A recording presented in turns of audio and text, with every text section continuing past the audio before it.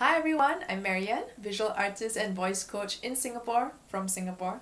And um, welcome to day 8 of my 100 day daily vlog project where I post a video every single day until Christmas Eve, um, sharing about the creative process, about the artist journey, about self-expression, about personal growth, about manifesting your dreams, following your heart, following your passion, all these things that I'm passionate um, talking about. And um, people who know me would say that they've heard some of these things before because I would inevitably bring it up in conversation because I love talking about them. Um, I've talked about these on first dates too. I think I've scared some guys away, but oh well, you know, I guess they were just not ready for this kind of conversation, and that's fine. Um, it just means that, you know, there are other more compatible options out there which I have yet to find. Um, but that's besides the point. Hmm, I wonder if I'll talk about like my love life in this series too. We shall see over the next few days. Um, okay, so um, if you have questions about the creative process, about the artist journey, about self-expression, about life, and you know following your dreams, and uh, what does it mean to follow your you know follow your passion and um, or any confusions around you know passion versus you know job and whatever okay? All these things that you think I might be able to answer please leave your questions in the comments below any of the videos um, you'll also find my social media links where and email where you can get in touch with me if you are shy about your question and you prefer to contact me directly um, I will answer these questions as the inspiration flows because that's part of what I'm doing here following the inspiration and seeing what happens over these next 100 days. Um, so, yesterday I talked about my favorite topic, which is what is your dream, right? And um, um, I shared a lot about like you know this dream that we have for our lives is is not just something that oh you know that's my dream and then it's kind of just there on the horizon but you actually have to take action because you know the dream that you see right now is just the first step towards something else and something else and something else and something else that's much grander in the whole um, I guess you know that's why I say that we're all artists uh, because even if you're not an artist or or you don't consider yourself a creative um, the way you live your life is basically following whatever inspiration there is you know and this takes the form of your dream or, or your goal or something that really matters to you. So when you go after and when you fulfill that you know the next thing would show up. And when you fulfill that the next thing would show up. And then when you fulfill that, the next thing would show up and so on and so forth until you have you know this grand picture i guess of your life which is like your masterpiece uh, which is what you know an artist's body of work becomes eventually as they progress in their career and artistic development uh, what we call the the magnus opus magnum is the ice cream okay magnus opus um, oh god, I might be butchering this name, but okay. Um, I will put a subtitle, you know, if if I made if I said it the wrong if I said it wrong. Um, okay, so so uh, why the internal barriers come up a lot more when we're going after something that truly resonates and truly means something to us is because you know the stakes are much higher, right?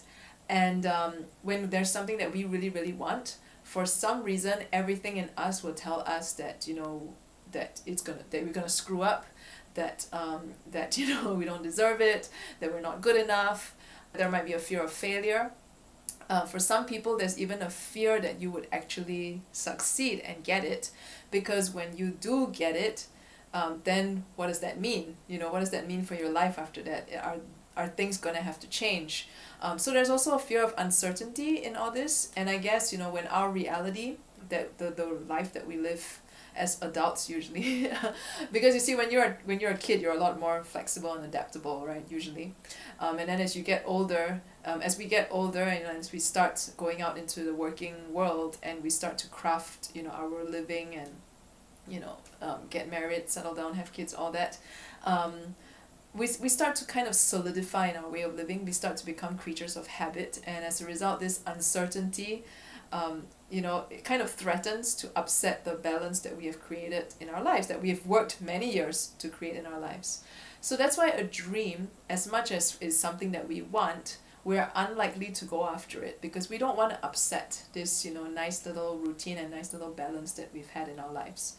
Um, yeah so so so as a result, you know, when there's something that you really want and you know you really want it, your internal barriers all the more are going to come up and stop you.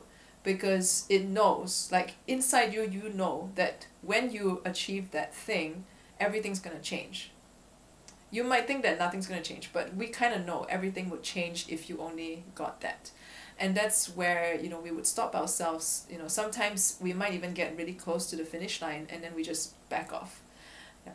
so you know there's a lot there's a lot that I can talk about you know going into this process um, but what I wanted to to really talk about you know is how this dream um, something that we really want so much that is so unattainable. And part of why that is is also because when we have a dream we have this idea that we think that oh because it's my dream it's going to be something that um, you know like pursuing my passion or pursuing something that matters to me is going to be easy like we, we automatically equate you know passion with something that is um, attainable or something that is you know because I'm passionate about it I would feel like doing it all the time or it would be easy for me to do it all the time.